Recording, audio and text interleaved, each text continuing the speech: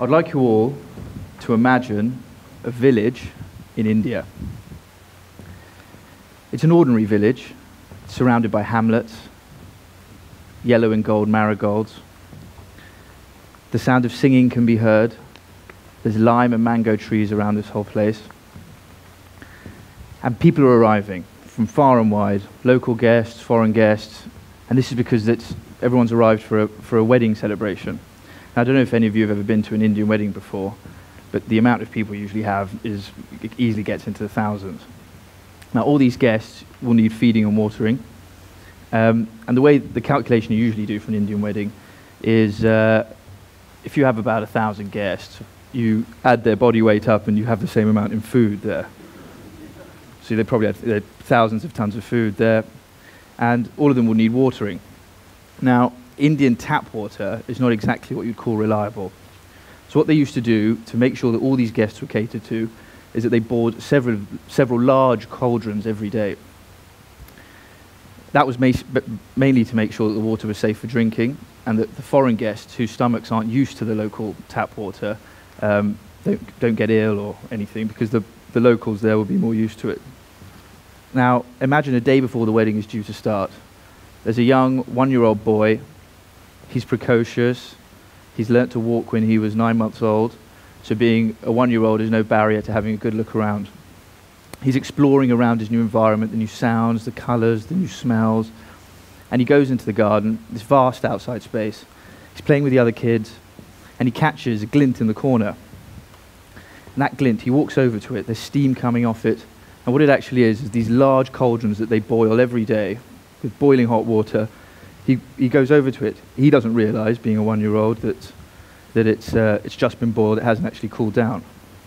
He goes over to it as he peers in, he trips on the smooth stone slabs. His arm goes straight in. And remember, this is boiling hot water. This water is going to scar him. He goes straight in. He screams. His screams are piercing. His mother is there in seconds pulling him out. Now, my mother says she's been pulling me out of hot water ever since. um, but it wasn't her fault, to be fair. I was, I was, a, I was a hooligan as a child and was difficult to manage. And I was only gone from her under her supervision for what, have, what probably seemed like seconds. Um, and I still have the burn scars on my left arm to this day. Several years of surgery later, they've managed to give me an almost normal arm. Um, but they're useful to me, these burns. They remind me to ask every day, you know, why do people have to boil their water? It's a problem that people face on a daily basis all around the world, not just in India. And I don't want people to have to do this anymore. I don't want people to have to boil their water anymore, people to have to chemically treat their water anymore. And I don't just mean in Europe, America, Canada. I mean, sorry, I didn't just mean in developing countries. I meant in Europe, America, Canada, places where they still add chemicals to their water and they still, you know, we may not boil the water there, but they're chemically treating it. Now, you may think, um, I don't have to add chemicals to my water. Um, I'm in the UK. Well, you don't, but that's because somebody's already done it for you. What I'm saying is, what if we didn't have to do it anymore? We all know about water-related issues. You know, we, on the news we see, you know, uh, germs have got into the water source, infectious diseases, people dying in the third world of, you know, there's no lack of water, there's a, there's a lack of water, the water's infect, got infectious diseases in it. And we predominantly think of this as a third world problem. But it's not actually a third world problem. It's not only a third world problem. What I'm trying to say is it's also a first world issue. Just recently, we had a, a shortage of water in California. Now, this is a country that we consider as a superpower, possibly the most developed country in the world. You may argue that currently with what's going on, but um, you know, they, uh, people didn't have access to water in California, and that was recently. They had to control the amount they were drinking, the amount that they could use for swimming, their bathing water, water, water to water their garden. In Scotland this year, people in Aviemore were complaining of a chlorine taste in their water after Scottish Water changed the water supply. They started bubbling chlorine gas through a new water source, and people who were drinking the water from the taps could actually taste the chlorine in their water in the north of England, we had a cryptosporidium problem in Yorkshire. Now, cryptosporidium is not necessarily a deadly virus, but if it gets into the, the the water supply. Up, up there, it got into the drinking water supply. It can be fatal if you have a compromised immune system or uh, uh, for the children or for the elderly. Um, so what I'm trying to say here is it's not just a third world problem, it's also a, it's also a problem for us here and now in the first world. And I think that we're all guilty in the developed world of our, the way that we think about water. We take it for granted. We have an instantaneous relationship with our water. It's always there. We turn a tap on, we turn a faucet on, we run a bath, we run a shower, we swim in water. We don't think how, you know, what happens to that water for it to get to us. It's always there, it's instantaneous. And that can be easy to forget sometimes that 633 million people around the world don't have access to safe water. To put that into perspective, that's double the population of the United States. That's about one in every 10 people in the world. And yes, that is a third world problem, but it's not just a, a, a problem of um, infectious diseases or people not having access to water. It will affect us in the developing world, in the developed world, sorry, because we will also, you know, it has an economic impact. We don't have access to water you know, industry will collapse. We can't water our crops that feed us. Um, the, the impact would be huge. We'd feel it in our, in our pockets, is what I'm trying to say. So, you know, places like the World Bank have said, by the time we get to 2050, if we don't address certain water scarcity issues in the developed world, our gross domestic product could go down by as much as 6% annually. Now, if you think about that, you know, what we're trying to see, the wealth that we think that we have today will go because of you know, compromised water sources. So it's something that we have to address here and now. In terms of devastation, the World Economic Forum says, you know, more than climate change, more than anything else, access to clean water, you know, without, you know, the lack of it is the most devastating impact to human civilization. I would even go as far as to say it's probably one of humanity's greatest challenges. So a few years ago, I met my current business partner, and I discovered a new technology. Now, this technology, what was amazing about it is it, it, for the first time I saw something that allowed us to treat water, make it available for people in a sustainable way. Not, you know, without the use of chemicals. We didn't have to do, uh, we didn't have to boil the water. Was something that could treat water and make it available for everyone. Um, now, just to give you a bit of, you know, why we've started using chemicals, you know, what we, what we did is as the human population grew, and it grew so fast, our consumption of resources grew exponentially. And one of those things, a predominant thing that we all need is water. We all know, we've all grown up knowing how vital water is to, to organic life forms, to all humans. Um, you know, everyone knows that. But the problem is that we started using it and abusing it as we, as we used it in industry, we used to dump it back in, into the watercourses, into the table water, into the rivers, and we didn't actually clean that water. So over a period of time, what we did was disrupt nature's natural equilibrium. Nature cleans water very, very well itself. What we needed to do, though, because our consumption of water went up so dramatically, is that we needed to, to use it faster than nature could clean it. We started then adding chemicals to the water. Chemicals sped up the process, we used to use, you know, we bubble chlorine gas through it to make it clean, disinfect it so it's safe for drinking. Um, so I'm going to show you how this works. I'm going to turn it on here. So what we call this, this new technology, is sono-electrical chemistry. What we do is we pulse the water with sound waves, with sonar ultrasound, and we pass electric current through it. Now, if you imagine water as billion, billions of electrically charged uh, particles, where all the contaminants have a charge and the water has a charge. What we're doing is that we're creating particle separation in the water so we can get clean water out and the contaminants out by, by creating a, a, a, a charge differential in the water. Now, I've seen loads of water gadgets. I've probably seen about 10, 20 different investment ideas that people have come up with, and there's loads of them out there, and you've probably all seen them. You have things like membrane filters.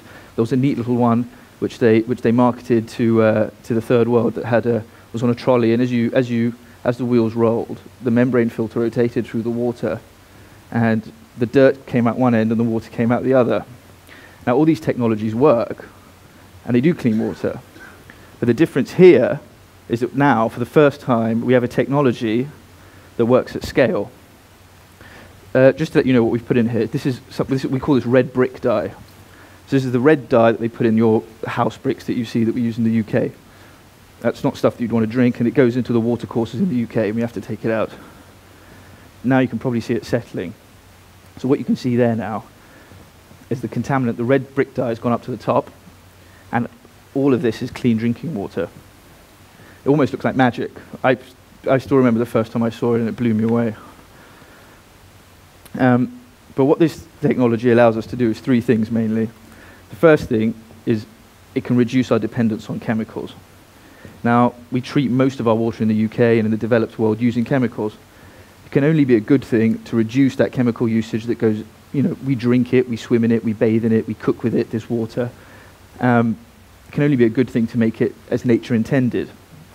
So to make it clean and using this technology would reduce our dependence on chemicals. The third thing, the second thing, sorry, is uh, water scarcity. We could, with this technology, because of its sustainable nature, and the fact that we can, we can treat so many different contaminants without using chemicals, it means that we, water scarcity wouldn't be such an issue because we could treat a whole range of different types of waters, contaminated water, and we could use that water in places where that water was scarce. The third thing is a contamination. Because of the power ultrasound, so what that does is as we pulse the water with sound waves, it smashes apart the bacteria and the viruses. So we're, we're, it, we're disinfecting the water. Now, this technology is not necessarily new. There is evidence that we've, um, you know, in ancient Sanskrit uh, uh, texts that they were using it 2,000 years ago. The Romans were using silver vats. There's even uh, proof, it's hotly contested, but there's even proof that the Egyptians were doing something similar to electrolysis. The difference now is that we understand the process, we understand how it works, which means that we can manipulate it to take out a whole range of different contaminants in a, in a, more, in a more natural way. Now, the way that we treat water in the UK, to start to understand how we can create that paradigm shift to, to using this technology, is that we we have two things. We have a wastewater treatment plant, where industrial effluent, human sewage, etc., goes in. We clean that. We do a range of processes to it.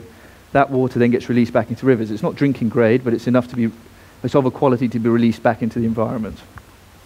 We then have drinking water plants. Now, these plants we treat the water and they get piped straight to your homes.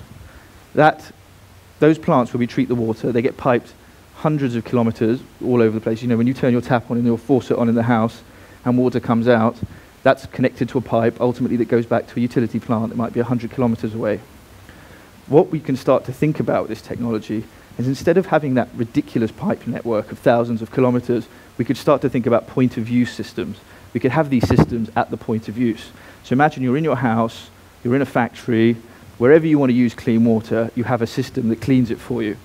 What that then stops us from doing is treating water hundreds of kilometers away, piping clean water through a pipe network.